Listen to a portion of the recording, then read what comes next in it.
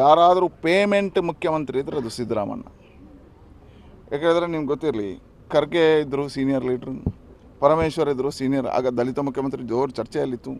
D K Shivakumar ಇದ್ದರು ದೇಶಪಾಂಡೆ ಇದ್ದರು ಇಂಥ ಪ್ರಮುಖರ ಮಧ್ಯೆ ಸಿದ್ದರಾಮಣ್ಣ ಮುಖ್ಯಮಂತ್ರಿ ಆಗಿದ್ದಾರೆ ಹೇಳಿದ್ರೆ ಹಣ ಕೊಟ್ಟೇ ಆಗಿದ್ದಾರೆ ಅವರು. ಐದು ವರ್ಷ ಉಳಿಸಿಕೊಂಡದ್ದು ಮೇಡಮ್ಗೆ ಹಣ ಕೊಟ್ಟು. ಹಾಗಾಗಿ ಪೇ ಸಿ ಎಂ ಏನಿದೆ, ಎರಡು ಅರ್ಥ ಇದೆ. Pay Congress madam pay C M Siddaramanna payment ಮಾಡಿ ಸಿದ್ದರಾಮಣ್ಣ ತನ್ನ ಸೀಟನ್ನು ಗಟ್ಟಿ ಮಾಡಿಕೊಂಡ್ರು. ಪೇಮೆಂಟ್ ಮಾಡಿಯೇ ಮೇಡಮನ್ನು ಸಂತೋಷಪಡಿಸಿದರು.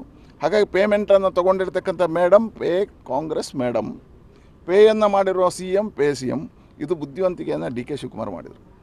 ಸಿ ಎಂ ಸಿದ್ದರಾಮಣ್ಣನಿಗೆ ಹೊಡಿಬೇಕು ಅಂತ ಈ ಪೇ ಸಿ ಎಂ ಅನ್ನು ಎದುರು ತಂದರು. ಸಿದ್ದರಾಮಣ್ಣನಿಗೆ ಅರ್ಥ ಆಗಲಿಕ್ಕಿಲ್ಲ ಪೋಸ್ಟರ್ ಇಟ್ಕೊಂಡು ಹೋಗಿದ್ದಾರೆ. ನಮ್ಮ ಬಾಯಲ್ಲಿ ಹೇಳಿಸಬೇಕು ಅಂತ ಡಿ ಕೆ ಶಿವಕುಮಾರ್ ಇದನ್ನು ಮಾಡಿದ್ದಾರೆ. ಹಾಗಾಗಿ ಇವತ್ತು ಸತ್ಯ ಆಗಿದೆ. ಪೇ ಸಿ ಎಂ ಸಿದ್ದರಾಮಣ್ಣ ಹೇಳ್ತಾನೆ. ಹೇಳಿರ್ಬೋದು. ಸರ್ ಎಷ್ಟು ಎಷ್ಟು ಕೊಟ್ಟಿರ್ಬೋದು ಸರ್ ಪೇ ಎಷ್ಟು ಕೊಟ್ಟಾಗಿರ್ಬೋದು ಅಂತೀರಿ ಸರ್ ಸಿ ನೋಡಿ ಮಿನಿಮಮ್ ಅವರು ಮೇಡಮ್ ಎಲ್ಲ ಚಿಲ್ಲರೆ ತಗೊಳ್ಲಿಕ್ಕಿಲ್ಲ ದೊಡ್ಡ ದೊಡ್ಡದು ಕೊಟ್ಟಿರ್ಬೋದು. ನಿಮ್ಮ ನಿಮ್ಮ ನಿಮ್ಮ ಪ್ರಕಾರ ಸರ್ ಎಷ್ಟಿರ್ಬೋದು? ನೋಡೋಣ ಒಂದಲ್ಲ ಒಂದು ದಿವಸ ಡಿ ಕೆ ಶಿವಕುಮಾರ್ ಹೇಳ್ತಾರೆ.